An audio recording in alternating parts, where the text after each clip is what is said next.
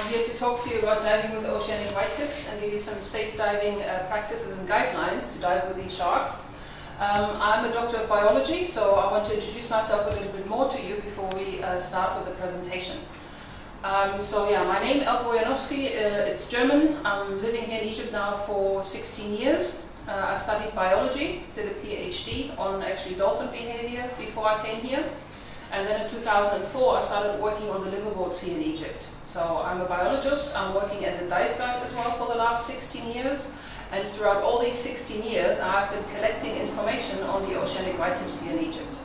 So I have a huge database. I'm running a, a trust, a charity that's called Red Sea Sharks. So this is why I was asked by the CDWS to do presentations for the guides uh, on oceanic white tip sharks and on how to safely dive with them. So this is the idea for these presentations.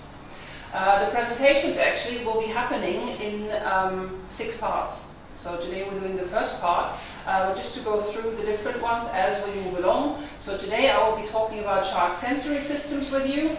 Uh, then part two, the next one on uh, biology of oceanic whitetip sharks and their behavior. I will be talking about how to dive with them safely, so guidelines, safe diving practices with them. Uh, then I will give you a summary of pre-dive information for your guests. That'll be part five. And then finally, part six, I will say a few more things about shark monitoring here in Egypt uh, that I've been doing and that I have been involved in. Okay, so let's dive in. Part number one for today, I want to talk about shark sensory systems. I think it's extremely important that people that are interacting with sharks actually know how they perceive their world. If you know this, it's much easier to predict, to understand, or to interpret actually the behavior of the sharks that you might have around you that you hopefully meet while you're diving. So let's start with shark sensory systems. Um, I want to do this by approaching a hypothetical shark from a distance. So I'm going to start with a sense that is the furthest reaching actually, and this is hearing. Uh, why is hearing the furthest reaching sense? That's actually quite simple. Sharks live in water. Water is a perfect medium for sound propagation. And that is especially true if, like in the case of sharks, you're actually very sensitive in the low frequency ranges. Now, if I say low frequency ranges, I mean below our hearing range, below the human hearing range. Because sharks uh, have been known to react to sounds uh, from about 10 to 100 hertz. Our hearing starts at about 200 hertz and goes up to uh, 20 kilohertz, maybe, something like this.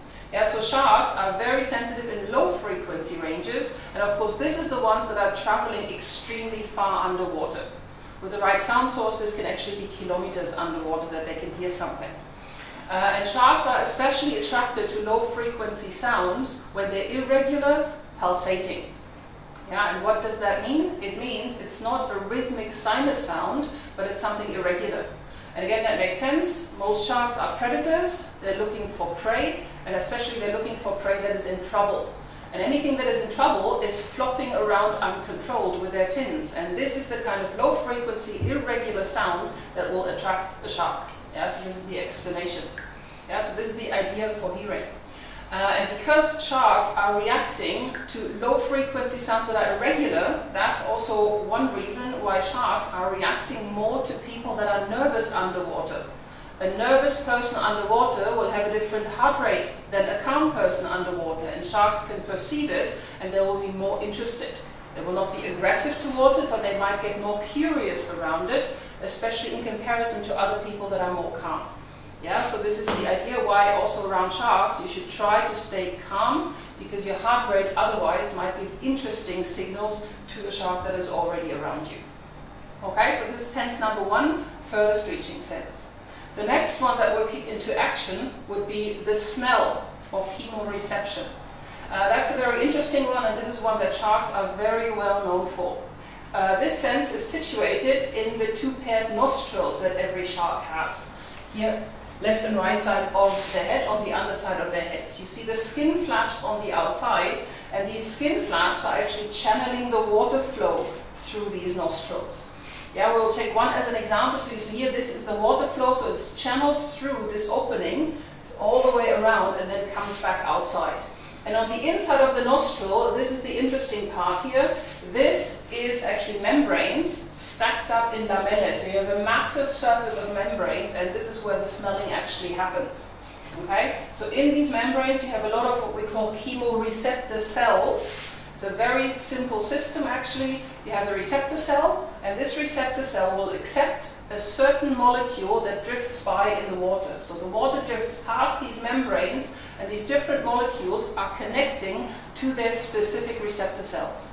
And then the brain analyzes which kind of receptor cell was activated at the same time, and then they can, from the composition of the molecules, they can decide what kind of chemical trail was just drifting past. Is that interesting? Is it something that I want to approach? Is it maybe something I want to stay away from because it's indicating danger? Or is it something that I don't know at all and I'm simply going to ignore? Yeah, this is the decision that they make.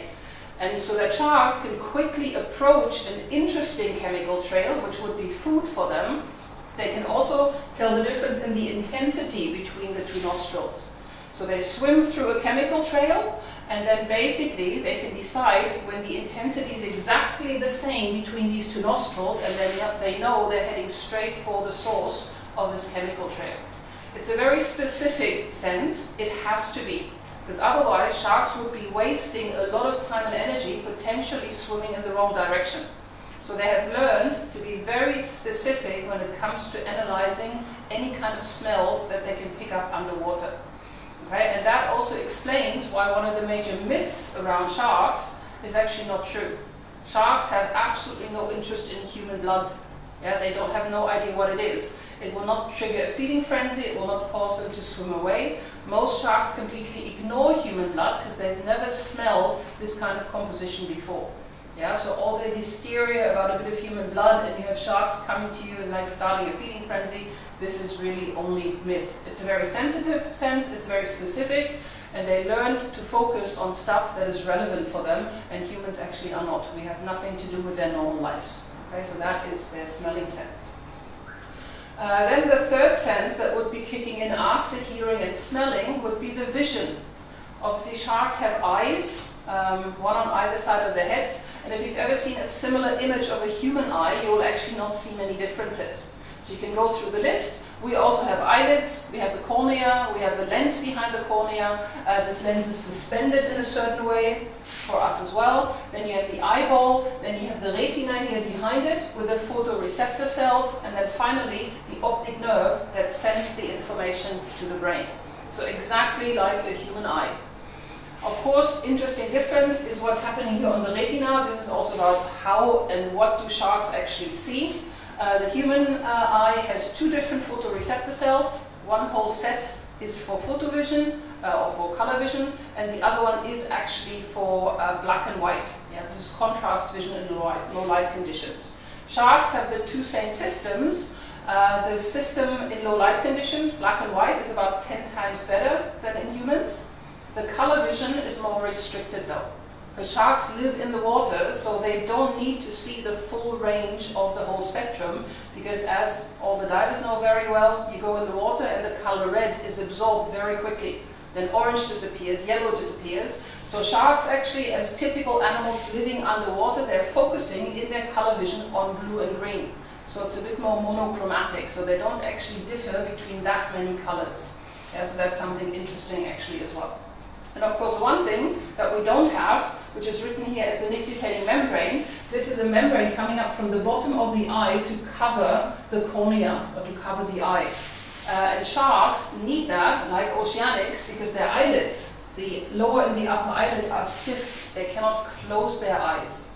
So they need something to protect them so that they're not getting damaged. So they're using this opaque white membrane to protect their eyes. Uh, and this is what it looks like. Here, this oceanic put up the left nictitating membrane over his eye because he was very close to a camera. So any kind of sudden movement towards the eye could damage it. Yeah, so that it doesn't happen when they come close to objects that they're investigating or before they're feeding, they literally blind themselves. And again, for somebody interacting with an animal like this, this is important to know you have a blind shark next to you. So any quick movements that you are making at this point, they don't see. There's other senses in play, but the direct visual control of the situation they're giving up on so that they can keep their eyes safe from being damaged. Yeah, so this is very important about their eyesight. It never takes long. They don't take this away for unnecessary reasons. So the moment the shark swims away a little bit, the nictitating membrane will come down again and they can see again. But for this very short moment where the eye is white, they are literally blind on this side. Yeah, so this is an important one. Okay, then uh, the fourth sense that is kicking in is a sense, again, very typical for water. Uh, that's a pressure sense. It's called lateral line system, and sharks are actually sharing this with the other fish uh, in the water, with bony fish. Uh, this sense is a system of pores. Yeah, this goes all the way around the head, and then there's a line of these pores all the way up to the tail. Um, you can see it in the picture, hopefully, a little bit here on the screen. You have these little dots here behind the eye of the shark, and they're actually all around the head. This is these uh, pores, the opening to the outside of this lateral line system. And what happens is, an animal that moves on the side of the shark creates pressure changes. These pressure changes, these are the pores here, this is the surface, the skin of the shark. So the water pressure changes go into the pores, they move this jelly pad that is sitting on hair cells. And then the information from the movement of these hair cells, again, is given to the brain. Yeah, so from animals moving along the whole side of the body of the shark, they will get information what kind of objects they actually are. Because obviously different animals are moving differently and they're creating a different pattern of pressure changes that will go into these channels. A turtle swims different from a fish, a tuna swims different from a Napoleon before they because they're using different fins to swim. Yeah, so this kind of information a shark can analyze, and that obviously works all the way into complete darkness because the pressure changes, they can still feel. Yeah, so this is an important sense to basically orient yourself and to know what's going on all the way along the side of your body, even if you cannot see it. Yeah, so that's a, an important one. And this lateral line system also explains uh, why sharks are circling objects that they're interested in. They're not aggressive, they're trying to figure out what these objects are. So even if a human being is being circled by a shark, it simply means that the shark wants to use the whole side, the whole lateral line system, to analyze the movement patterns and to understand what this object is. Yeah, so if that happens, just stay calm, turn with the shark, make sure that the shark knows you've seen it. We'll come to this point at a later stage here, but this is an important one. Make sure that you see what the shark is doing around you, but then just let him sort out and try to figure out what you are. If you don't actually do anything that gets his interest, most sharks, they will do one or two circles maximum, and then they will leave. Actually, most sharks are not even brave enough to come this close, but for the ones that are, they're simply curious and want to know what you are. Stay calm, turn with them, let them complete the circle, and then let them swim away. So they only approach you with the head first and turn away. They can only use the lateral line on here on the side one time.